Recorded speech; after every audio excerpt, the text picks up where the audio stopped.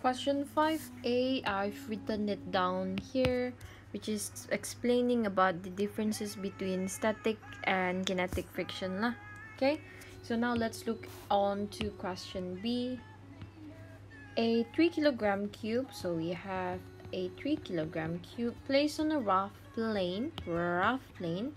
The plane is then slowly tilted until the cube starts to move from rest.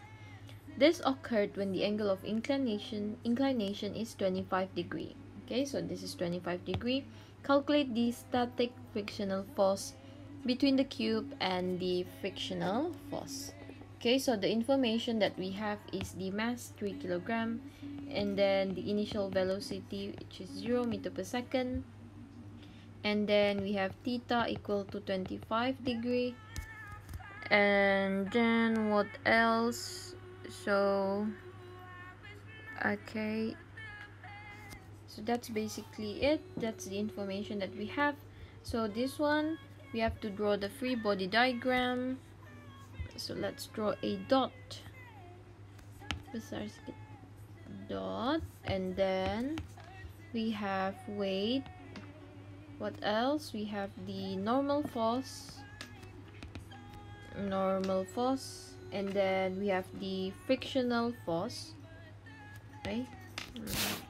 So we have the frictional force. And then what else? I think that's yeah that's basically that. This is the inclined plane. And then this is the axis y axis. Okay.